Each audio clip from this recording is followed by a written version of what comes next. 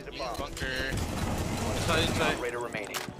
In elbow, elbow. Op 4 found a bomb. Must defend it. One elbow, two pillar. One default, one pillar, then one elbow. Could walk up hall.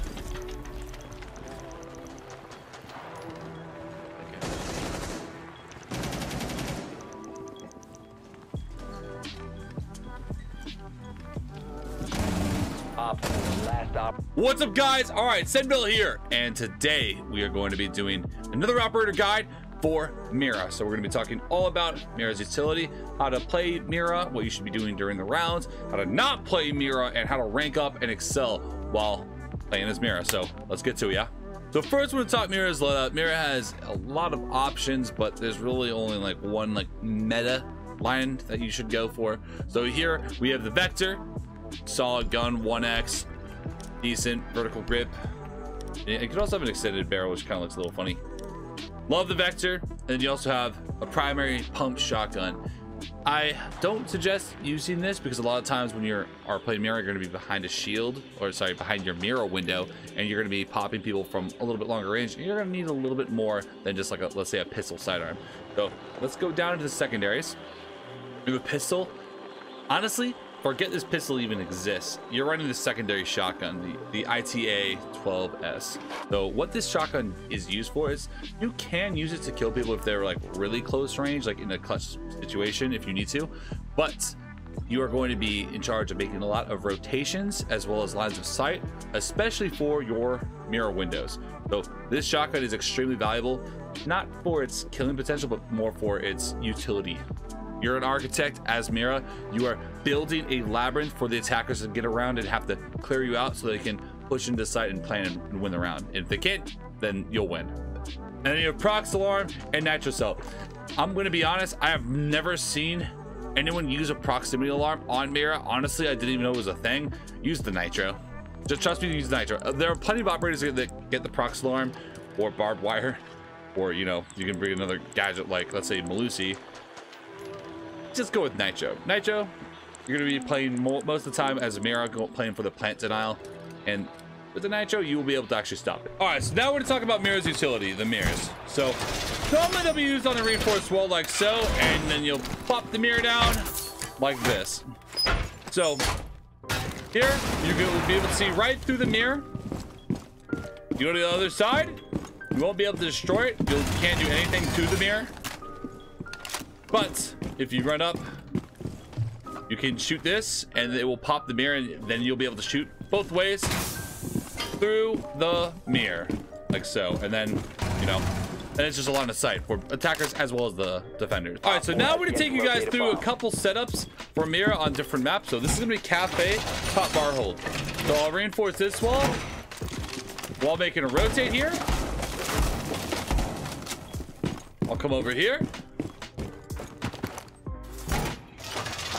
We're gonna plop a mirror down right here, like so. So key things, th- this is honestly why this shotgun is super useful because this is very key to most of this setup. Shotgun is great. All right. So then what we're gonna do is we're gonna open up this wall entirely. So it'll be very hard for anyone to get into the cigar room. And then we're also going to open up these walls. Well, I guess this bar, sorry. So they can't go for a default plant while someone's behind that mirror. We'll be able to see them very easily. And this pairs very well with a, just like a wall denial, like let's say mute or intel denial, as well as if anyone tries a Hibana or breaches, you know, that wall from long range, if you Hibana, you breach it with Hibana pellets, it will open, or an ace, it will, it will open up. So pairing that with the mute is great. So now I'd probably open up this too, just to, for more direct line of sight, so I can see very clearly if they are there. And then I get just a quick little slap shot. Maybe open up a little bit like so, a little bit more. And that would be it. That would be it for the prep. So if they go for a plant, I'll be able to see them very easily. If they if they ever try to push from CS, boom, you can just, you know, take them out. Mira is extremely good because it's just very hard to challenge a Mira because you don't know which way she's going to swing from, you left or right. Like you have to kind of guess and you have to predict the pre-fire because when you're Mira, like uh, my gun is on your head and, uh, and I'm pre-firing as I swing. In this position, it's just really hard for them to ever get through stage and even better yet, like you can do a little bit more like so. Just a little bit more so you can see a little bit deeper into the stage. So they really can't go in Cigar without having to deal with this Mira. They can, you know, Twitch drone is your worst nightmare. So if you have a Twitch, make sure you're aware there's a Twitch because all it takes is one little zap. And uh, your Mira is now a two-way. And yes, uh, it's going to be a lot more dangerous to peek this because your face is going to get ripped off very quickly. So be careful. So here we have Oregon Basement. Op 4 has a diffuser. I'm gonna show a couple potential holds you can do. So you can place a mirror here to watch the freezer. But it will require someone to play like in this position. I'm gonna show you guys better ones that I personally like to use in like FPL. So I'll reinforce this wall. Pairing this this site with a Kaid is extremely good because you can, you know, place the Kaid on that hatch. I'll place a mirror here, which will force them to have to go upstairs and take the hatch, which requires a lot of teamwork, clearing out, and a lot of time denial. Just by placing my Mira down, it forces them to have to go upstairs and open that hatch and forces a, a, push in a very direct way that we want them to kind of focus on. And if they don't, I mean, we have that control very easily. And then here is a Mira that I love to do. Low key, you always want to put this on the right side because otherwise the angle is too deep.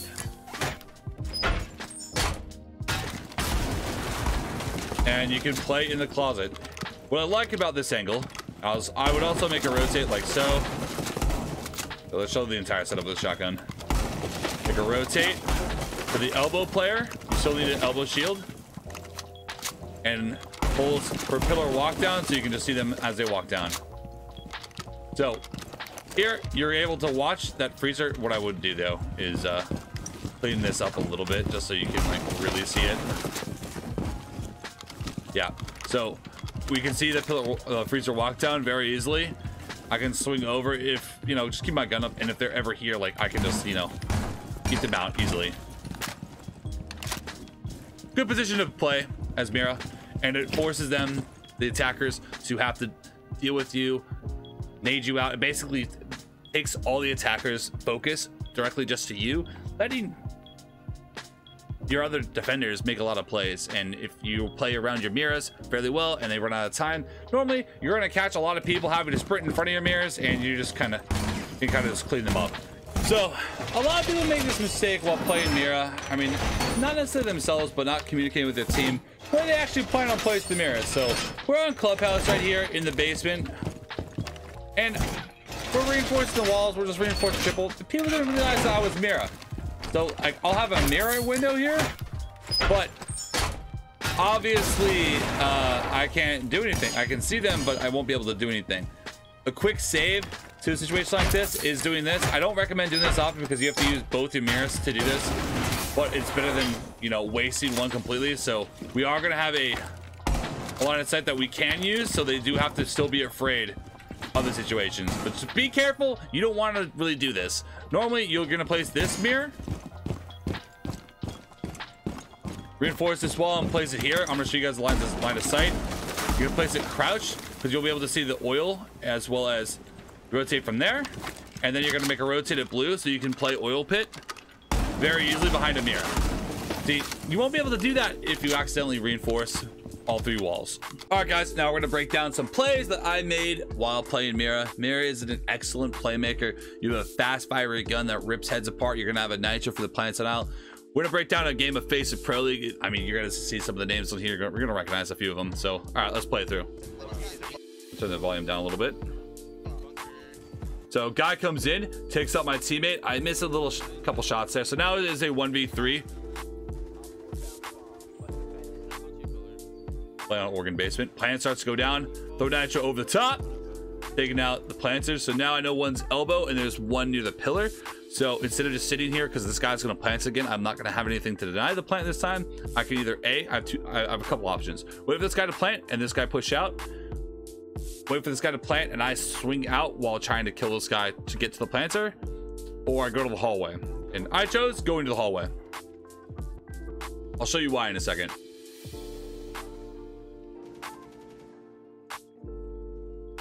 Plant starts to go down. And we know there's one still at the elbow. We just heard him shoot, so free fire.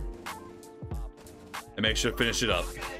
So a lot of times you're playing Mira, you are going to be in 1vx situations or your team is just going to basically murder everybody else. So a lot of times when I play Mira, I'm going to find myself in like 2v4s or 1v3s, etc.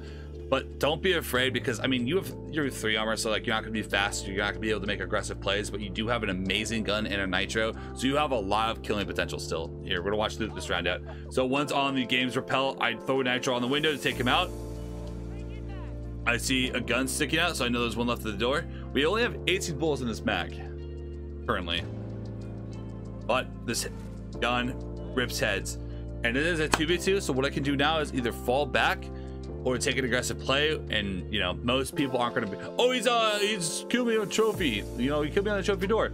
I go for an aggressive play here because I want to catch them off guard. I don't want them to have to deal with us and potentially, you know, kill Mozzie and it's a 1v2, then I, then I lose. Or let's say I try to run away and someone swings the door because I'm really slow. When I when I play a three armor like this and I swing, I kill a guy on the trophy door, I just swing into the spot that I'm going to swing away from to clear it out to really make sure that no one is going to swing as I run away. So I swing in to check that no one's close by. If they are, I'm gonna try to deal with them. If they're not, I'm gonna swing out a little bit and then swing back. A little bit of artifact on that. We kill the Zoph. And instead of, because now we know that it is just an ace left in master, I can either run away while the breach is getting open. He might potentially shoot me through the breach that he made, or I can keep swinging when they don't really have that much intel on me still. With my gun up? And we take him out. Obviously this this is not something you will ever do but this is just i mean a lot of mirror plays i've seen kind of like this especially in lower elo. This is not low elo but you'll see this quite a bit people trying to be a little creative with the mirrors. But uh, this is a fail.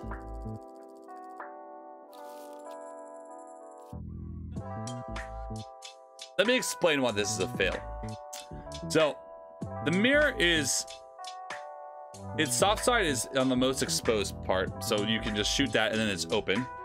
You can shoot the mirror out by just shooting this little part of the wall and the mirror will just disintegrate. You can just see the person standing behind it because the floor is exposed. There's so many problems with this mirror. This is why I've been laughing hardcore. Don't do any of the thing that you are seeing here. Don't let them see your feet.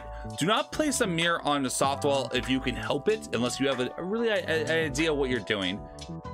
Be smart about it, because like, you know, if it's on a soft wall, they anyone with soft breach can just destroy it.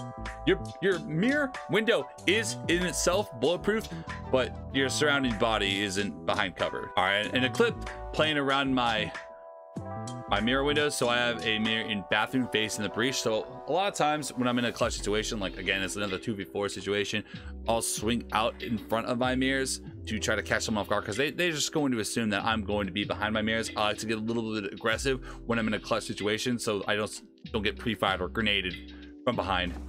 But swing out guy has no idea that i was even walking past my mirror.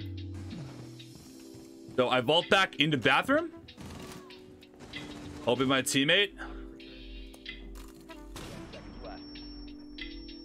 We swing over.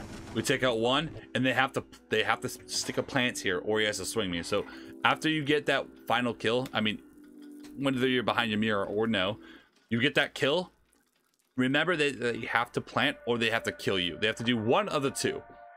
So if I swung through that door like, like kind of like a bot, then maybe he kills me and they just win the round. I force him to have to either swing and I'll get that audio cue, or I force him to have to plant. He goes for the plants. And we barely take it out, but hey, a dub's a dub. One of the biggest things I really want to emphasize really quick is just because you have your mirror windows down, don't feel like you're forced to sit behind your mirrors the entire round. Don't be afraid to get a little aggressive if you have to. If you feel the need to rise that you need to get aggressive because team's dropping and you've got to make a play. You feel like your flanks exposed. Don't feel like you have to sit behind your mirror just because it's there. A lot of times, just a mirror being there will make the attacker second guess themselves because they're not sure if someone's behind it or not. So they're going to stutter step in front of it. So don't be afraid. Mira is a very easy op to start using in Rainbow Six, but she's very hard to master. Knowing all the lines of sight, knowing where to place your mirrors, what's what's effective, what's not, takes a lot of practice. So when she's not banned, because she's banned quite often, because honestly, she's a very impactful operator on certain sites, like like I showed you, like the kafe in the Oregon. Extremely impactful, and the attackers are really going to notice her presence. So when you bring her, really think about what type of push are you denying. Always think about that when you're when you're playing Mira. Like, what push am I putting this mirror down to prevent them from what like what?